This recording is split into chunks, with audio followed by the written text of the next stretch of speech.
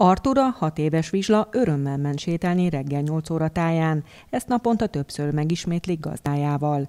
Az app tulajdonosa azt mondja, este 8 óra után és hajnalban nem szokta levinni kedvencét, így a kijárási korlátozás nem érinti érzékenyen. 7 órakor már sötét van, akkor már nem járunk ki, 4 óra után. Csoki! Gyere ide gyere, gyere. Csoki a négy éves keverékutya boldogan szimatol a szokásos reggeli sétáltatáskor. Az állat minimum 15-20 percet tölt egy-egy ilyen alkalomkor a szabadban. A gazdája azt mondja, sokszor este ér haza a munkahelyéről, és csak utána tudja kivinni a kutyáját. Van, amikor este is lehozom, munka után, Mikor ér haza a munkából? 8 óra után. Sok lakótelepi kutyatulajdonosnak problémát okoz a korlátozás. Az országban nagyjából 3 millió kutya él, közel felük városban, lakásban. Ezeket az állatokat naponta többször is le kell vinni sétálni, levegőzni, és hogy elvégezzék a dolgukat.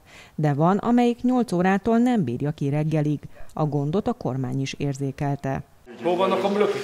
Még nem hoztam őket. A miniszterelnök Óvádi Pétert a Nemzeti Állatvédelmi Program megújításáért és végrehajtásáért felelős miniszteri biztos fogadta, akivel megállapodtak a helyzet rendezéséről.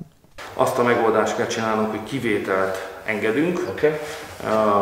A kivétel részletszabályait odaadjuk az önkormányzatoknak, Tökéletes. és a kutyafuttatók bezárásáról szóló részletszabályokat is odaadjuk az önkormányzatnak, mert ahány kerület, Annyi ahány fajta város, annyi fajta kutyafuttató.